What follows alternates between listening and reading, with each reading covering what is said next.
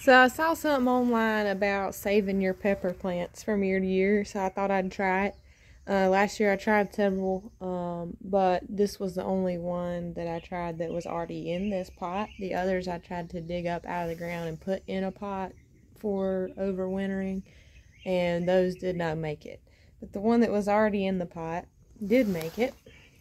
You can see where I had cut it back there and you can't see the other branch but it was forked right there. And I cut both forks off like that.